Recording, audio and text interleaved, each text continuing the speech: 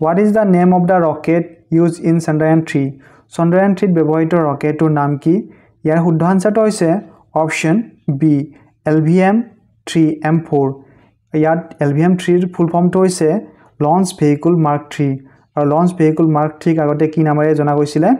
G S L V M K three আৰু G S L V M K থ্ৰীৰ full ফৰ্মটো হৈছে geo' synchronous satellite launch vehicle mark three আৰু এই ৰকেটটো যিহেতু ইণ্ডিয়াৰ হেভিয়েষ্ট ৰকেট সেইকাৰণে বৈজ্ঞানিকবিলাকে ইয়াক ফেট বয় বুলিও কৈছিলে। Next question the Chandrayaan three mission is a collaborative project between India and Chandrayaan three অভিযান হৈছে ভাৰত আৰু কোনখন দেশৰ মাজত এক সহযোগিতামূলক প্ৰকল্প? ইয়াৰ শুদ্ধ আনচাৰটো হৈছে option D none of the above কাৰণ চন্দ্ৰায়ন থ্ৰী মিছনটো হৈছে ভাৰতৰ এটা independent lunar mission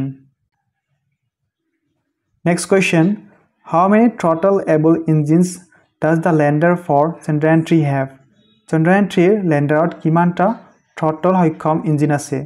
Correct answer is option C for next question the moon takes how many days to revolve around the earth চন্দ্ৰই পৃথিৱীৰ চাৰিওফালে ঘূৰিবলৈ কিমান দিন লয়?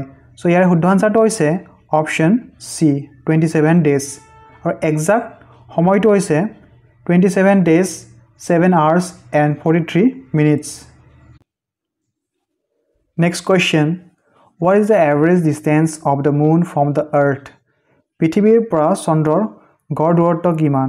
চ' ইয়াৰ শুদ্ধ আনচাৰটো হৈছে option A three eight four four zero' zero' kilometre next question who is the chief of ISRO' at present ইছৰ'ৰ বৰ্তমানৰ মুখ্য সচিব কোন? চ' ইয়াৰ শুদ্ধ আনচাৰটো হৈছে option B S Somnath. So' এইজন হৈছে S Somnath.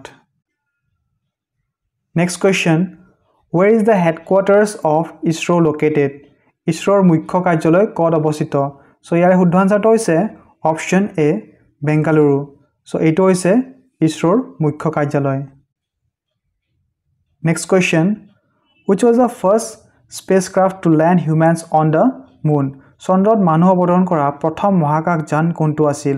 চ' ইয়াৰ শুদ্ধ আনচাৰটো হৈছে অপশ্যন চি এপল' এলেভেন আৰু এইটো কোনটো স্পেচ এজেঞ্চিয়ে পঠাইছিলে?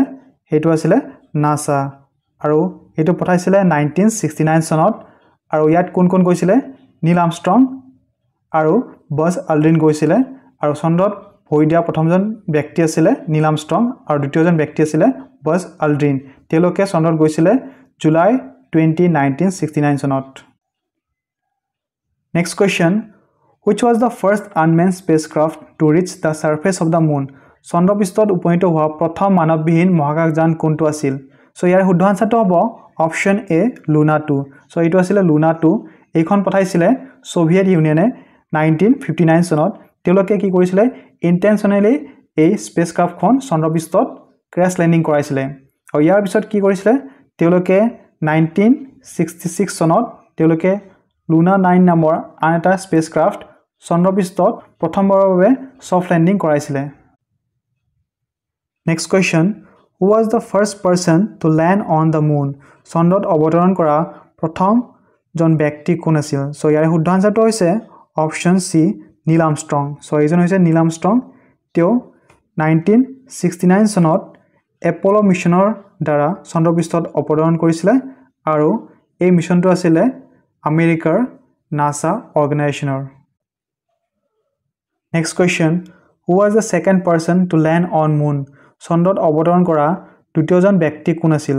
চ' ইয়াৰ শুদ্ধ আনচাৰটো হৈছে অপশ্যন এ বাছ আলড্ৰিন চ' এইজন হৈছে বাছ আলড্ৰিন চ' নীল আমষ্ট্ৰঙৰ লগত এপল' এলেভেন মিছনত নাইনটিন ছিক্সটি নাইন চনত আৰু এজন ব্যক্তি গৈছিলে যি এপল' এলেভেনৰ লুনাৰ মডুল পাইলট আছিলে তেওঁ আছিলে Buzz Aldrin next question diameter of moon is চন্দ্ৰৰ ব্যাস হৈছে চ' ইয়াৰ শুদ্ধ আনচাৰটো হ'ব option D three four seven five kilometre আৰু এই ডায়মিটাৰটো পৃথিৱীৰ ব্যাসৰ ওৱান বাই ফ'ৰ্থৰ সমান।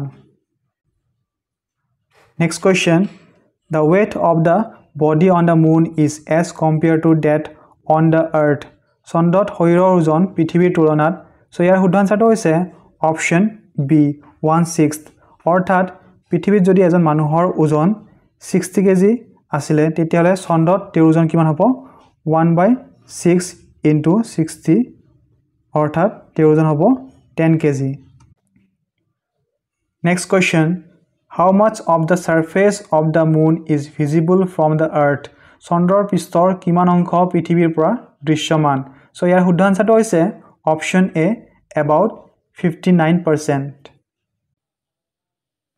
next question what is the study of moon call চন্দ্ৰৰ অধ্যয়নক কি বুলি কোৱা হয়? চ' ইয়াৰ শুদ্ধ আনচাৰটো হৈছে option D selenology next question what is perigee perigee কি হয়?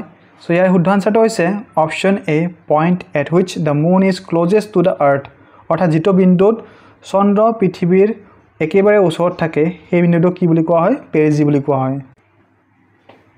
Next question the term apogee refers to which one of the following apogee শব্দটোৱে নিম্নলিখিত কোনটো বুজায়? চ' ইয়াৰ শুদ্ধ আনচাৰটো হৈছে option A a point in the orbit of the moon at which it is farthest from the earth অৰ্থাৎ যিটো বিন্দুত চন্দ্ৰটো পৃথিৱীতকৈ আটাইতকৈ দূৰত থাকে সেই বিন্দুটোক এপজি বুলি কোৱা হয়। Next question which country recently launch lunar mission Luna twenty five কোনখন দেশে শেহতীয়াকৈ চন্দ্ৰ অভিযান লুনা টুৱেণ্টি ফাইভ আৰম্ভ কৰিছিল? চ' ইয়াৰ শুদ্ধ আনচাৰটো হৈছে অপশ্যন বি ৰাছিয়া চ' এইখন যেতিয়া লঞ্চ কৰিছিলে eleven August two thousand twenty three এইখন nineteen August two thousand twenty থ্ৰীত চন্দ্ৰপৃষ্ঠত ক্ৰেছ লেণ্ডিং কৰিছিলে কিছু টেকনিকেল প্ৰব্লেমৰ কাৰণে। আৰু এইখন চন্দ্ৰপৃষ্ঠত লেণ্ড হোৱাৰ কথা আছিলে twenty first August two thousand twenty three next question the satellite launching station of India is located at ভাৰতৰ উপগ্ৰহ উৎক্ষেপণ কেন্দ্ৰটো ক'ত অৱস্থিত? চ' ইয়াৰ শুদ্ধ আনচাৰটো হৈছে option A Sriharikota Andhra Pradesh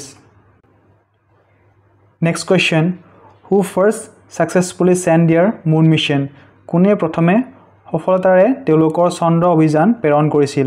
চ' ইয়াৰ শুদ্ধ আনচাৰটো হৈছে অপশ্যন এ ছ'ভিয়েট ইউনিয়ন আৰু দুই নম্বৰ কাণ্ট্ৰিখন কোনখন আছিলে? ইউ এছ আৰু তিনি নম্বৰ কাণ্ট্ৰি আছিলে চাইনা আৰু চাৰি নম্বৰ কাণ্ট্ৰি আছিলে ইণ্ডিয়া